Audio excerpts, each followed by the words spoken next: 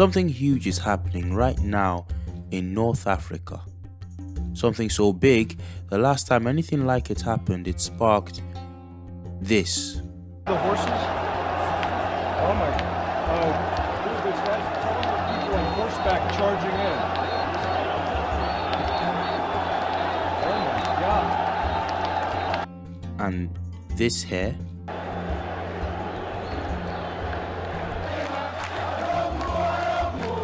And over here.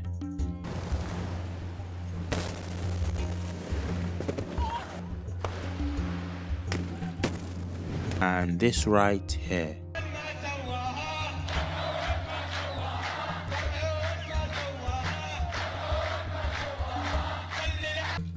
Yes, that would be the Arab Spring, a revolution that took down the governments of Egypt, Tunisia, Libya, Syria, and Yemen.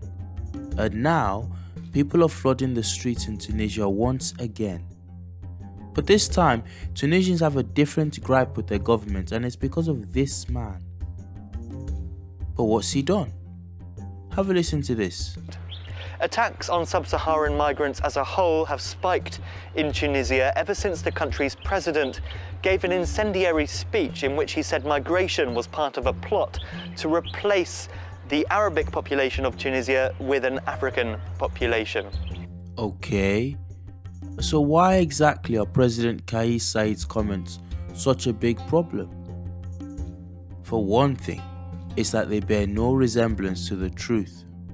Or if you want to be really generous, like taking liberties generous, you could say his comments are based on only partial truth.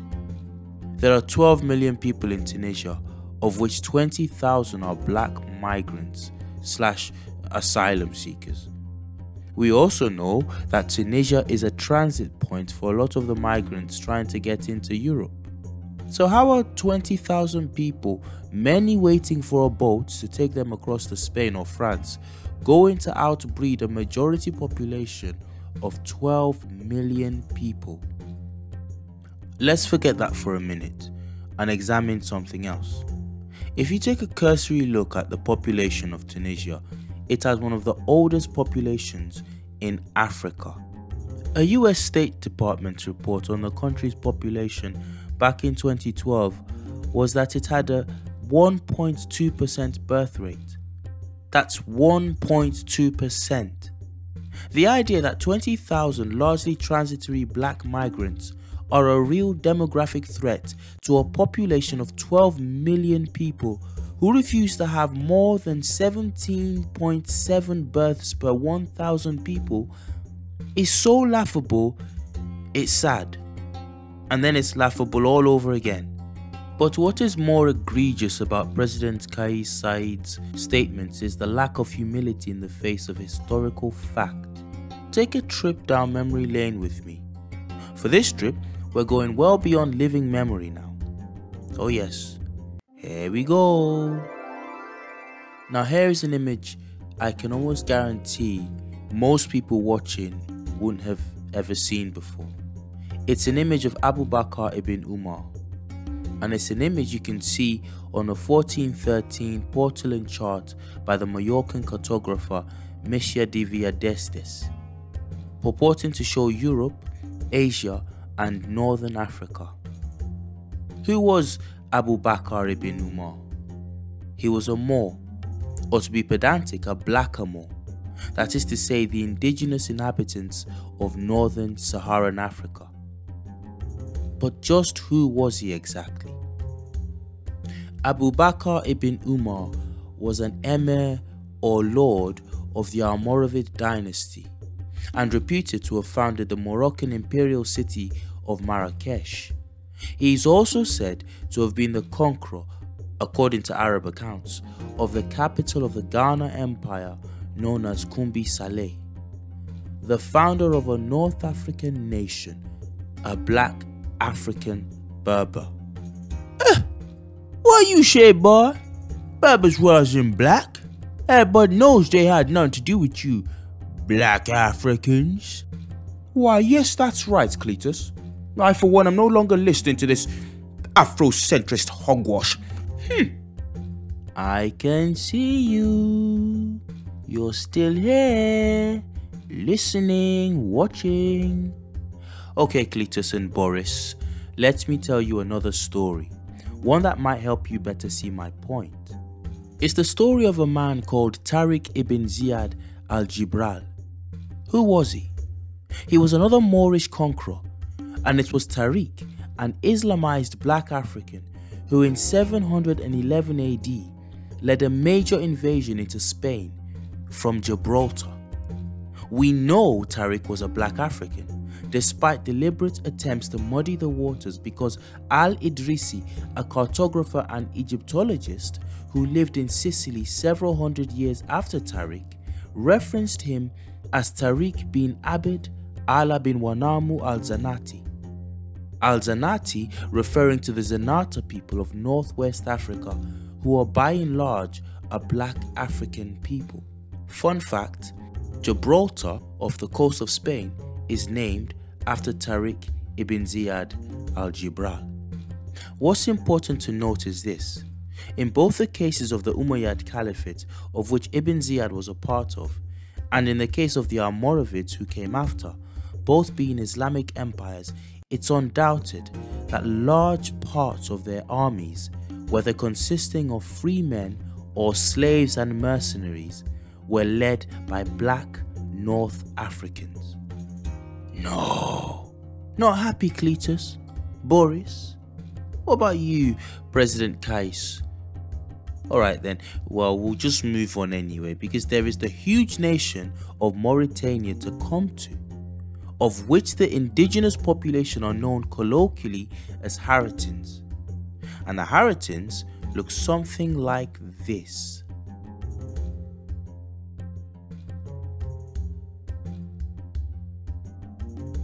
A quick look into the Haratins will show that they are indisputably the natives of the region today known as Mauritania, which is in northern Western Africa.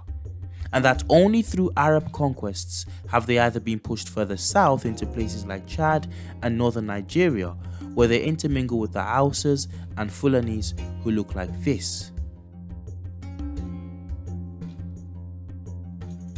But by and large, the Haratins today have been made second class citizens on their own home soil. Today, the Haratins are still the largest single ethnic bloc in Mauritania, but that block is only 40% and diminishing.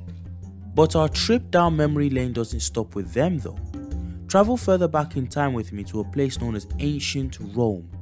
The people who in fact gave us the name Maur through their word Mauri which actually is in their word, but that of the ancient Greeks.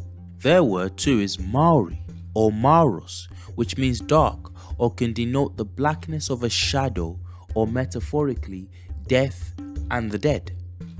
Most definitely, though, we know that when the Greeks used this to identify the native inhabitants of North Africa, they used a word that to them meant black skinned.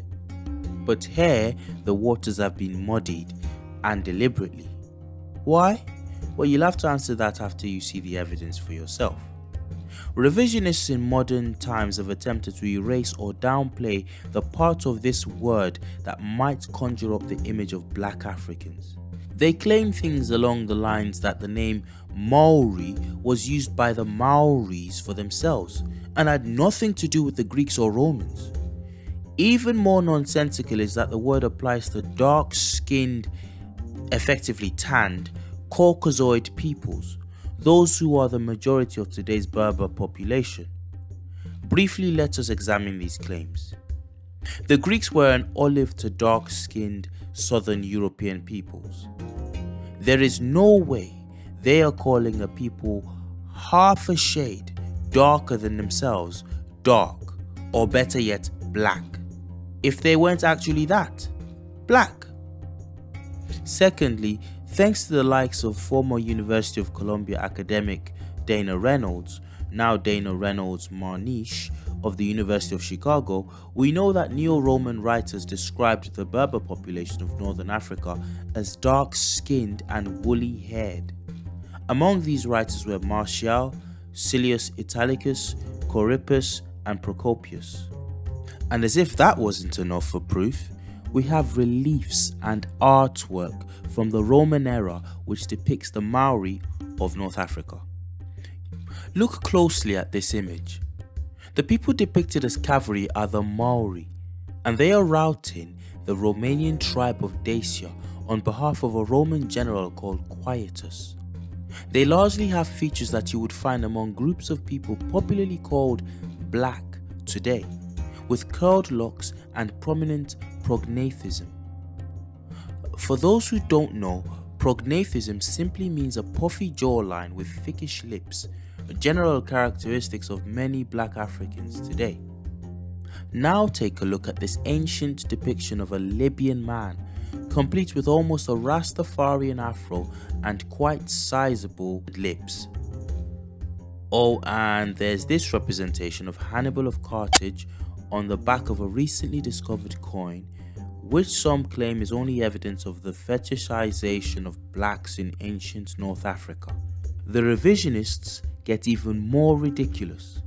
They maintain that all this isn't enough evidence to prove that there was ever a sizable black African population indigenous to North Africa. E.A.J. Honigmann makes the most ridiculous version of this claim I have heard yet. He claims that Othello's ethnic background is ambiguous.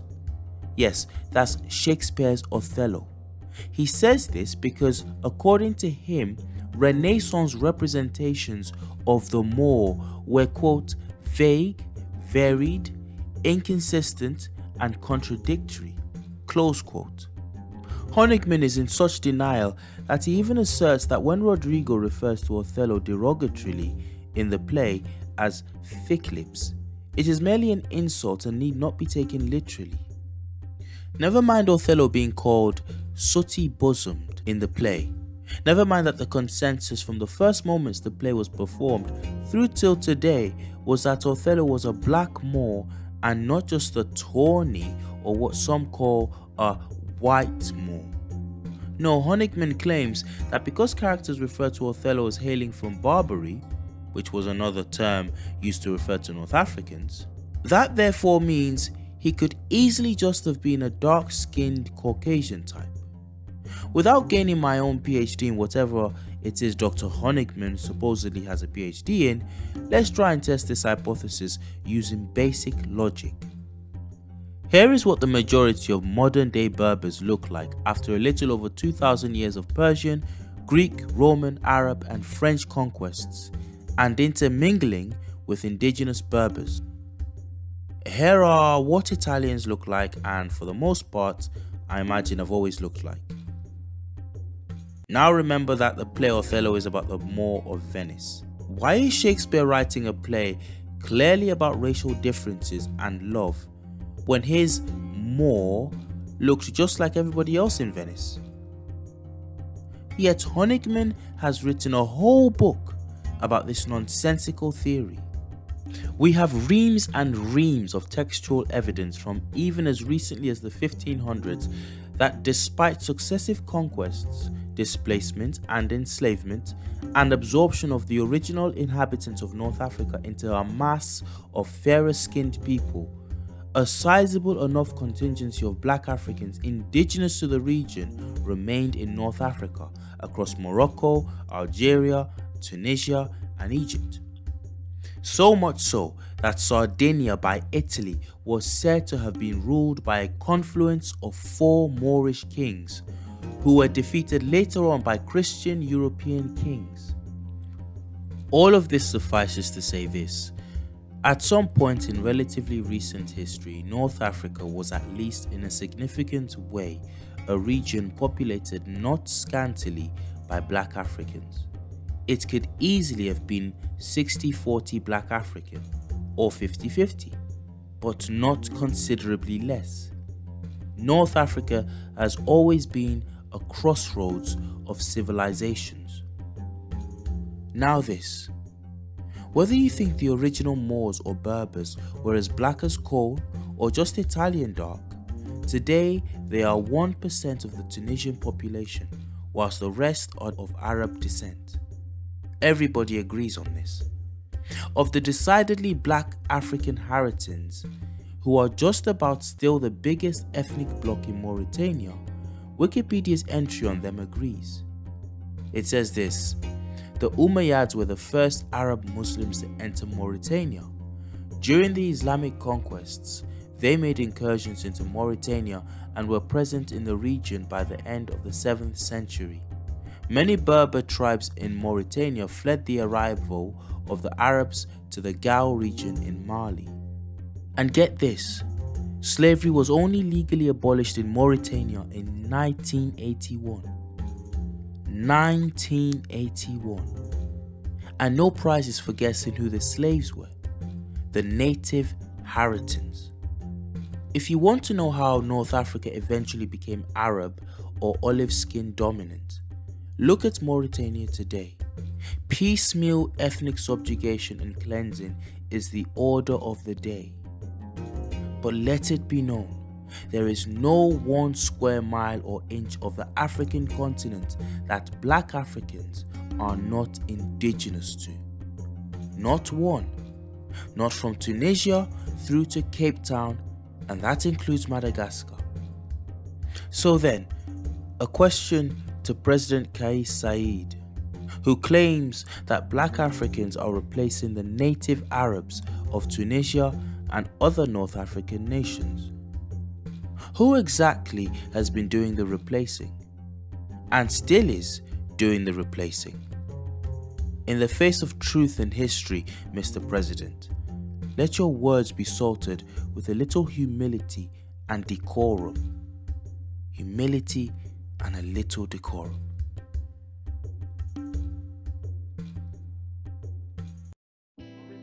Thank you once again for clicking on and watching this presentation. There's a very important word that we've deliberately not used in this video. It's a word anyone talking about the history of black African people in and around North Africa always uses. It's a fake intellectual word that suggests black people have never been out of Africa or anywhere north of the Sahara before slavery or Islam. You might well have heard it in a clip or two I played earlier, I can't exactly remember that far back now. But I myself made sure not to utter the word because I can't stand it. I think it's a meaningless word that is actually quite denigrating. Keep an eye out for a video on that topic in the near future. If you think you know what that word is, go ahead and visit our Instagram page at trillblackgram. That's at trillblackgram. Drop the word in the comment section beside either our Kwame Nkrumah shirt or our Sphinx shirt, both here on the screen. And the first person to guess the word correctly will get the shirt of his or her choice in their chosen size for free. Just follow us on Instagram and be the first to identify the word correctly, and the shirt of your choice is yours. We think both shirts look fire, and we can't wait to give away whichever one you choose. Finally, please go ahead, like our video, and subscribe. We need you to do this so we can reach good people like you far and wide with our message of knowledge and empowerment. From Trill Black to you, no doubt. Thanks again for watching, and remember to rep black right. Count me out, them a count me out. Hold it down, me a hold it down. One man, I me a hold it down. Cool it down, me a cool it down. Cut the flight, then I touch the sky, and I catch the vibe, then I feel the high, then I